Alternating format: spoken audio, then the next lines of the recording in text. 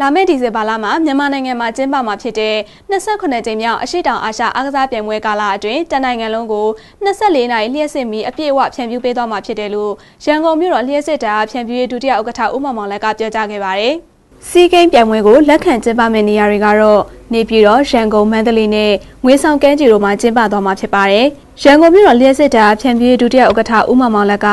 စီးကိန်းပြိုင်ပွဲမှာ ရန်ကုန်တိုင်းဒေသကြီးတစ်ခုလုံးကို24နာရီမီးဖြန့်ဝေပေးသွားလို့ရသလိုတနိုင်ငံလုံးအတိုင်းအတာအနေနဲ့လည်း24နာရီပေးသွားလို့ရတယ်လို့ပြောပါရယ်လက်ရှိမှာပြိုင်ပွဲကာလအတွင်း24နာရီလျှက်စစ်မီးပေးဖို့စီစဉ်နေရလို့ဆက်လက်ပြောပြခဲ့ပါတယ်မြန်မာနိုင်ငံကလက်ခံကျင်းပမဲ့အစည်းအဝေးပွဲတော်ကိုအာဆီယံနိုင်ငံတွေကတာဝန်ရှိသူတွေနဲ့အားကစားသမားပေါင်း900ကျော်ပါဝင်ဆင်နွှဲသွားမှာဖြစ်ပါတယ်။